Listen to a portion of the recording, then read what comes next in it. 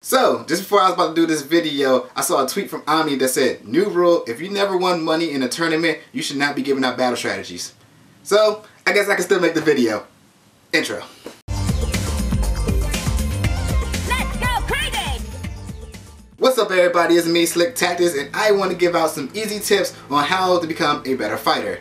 So, first one, spectate.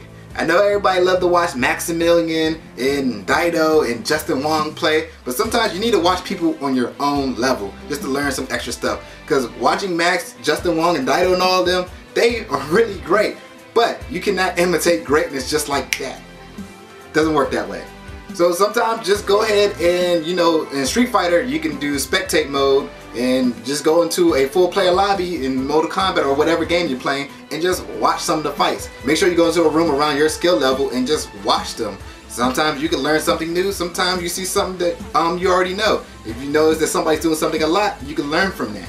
Spectating is a really excellent way to learn the game just by watching other people. You can constantly watch somebody use Sub-Zero over and over and you're bound to learn that he's going to be doing this over and over. You'll be able to read him like a book if you spectate well enough and learn from watching. Step 2. Learn everybody in the game. This is kind of part of spectate but this is more about yourself.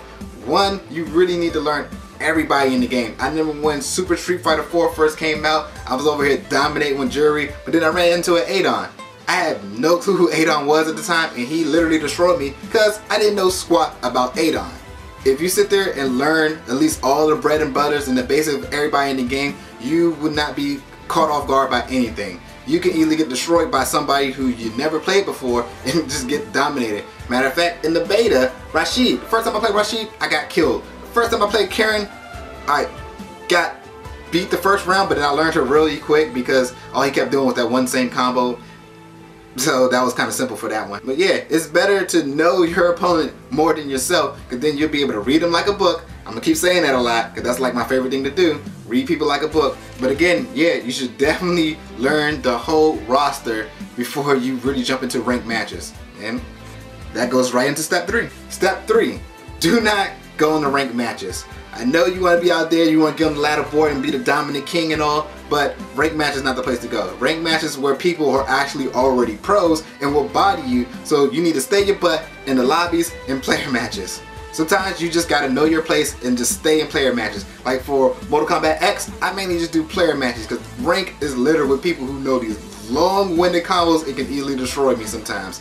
But for Street Fighter and Killer Instinct, I can go to rank because I know in rank, I mean, because mm, I know in Killer Instinct, I'm I'm decent, and I know in Street Fighter, I'm pretty good. I mean, don't get me wrong, I qualify myself as like a B plus fighter. I know I'm not an S rank like Daigo and them. I know I'm not an A rank like Maximilian, but I played Maximilian once.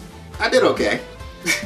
Anyway, those are three simple tips to help you become a better fighter. I hope y'all enjoyed those because I'm also working on a project called Fight School by Slick Tactics where I basically do this but more in depth and more teacher feel, more special effects and all that blah blah blah. You know, don't worry for the people who like one minute breakdown, Juri is on the way. It's already in edit. It should be out soon. So hope y'all enjoyed that. Give us a like, subscribe. Maybe you'll learn a little bit more. I'm gonna be doing a lot of Street Fighter 5 when it comes out. It's only in a few more days and I'm about to do a quick prediction and breakdown Street Fighter 5. That's coming soon. So until next time, I'm Slick Tactics. See ya like a game of chess. I know your every move. You tried that trick last round, now you're gonna lose. Come at me, bro. What's wrong? You scared? You keep jumping like I'm not gonna use my anti-air.